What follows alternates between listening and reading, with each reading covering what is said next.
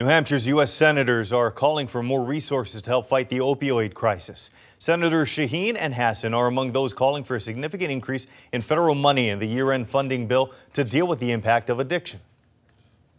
What we've heard from leadership in the Senate and in the House is that we don't have the funds to help deal with this crisis to meet our domestic priorities. Well, we're here to say that that's not acceptable.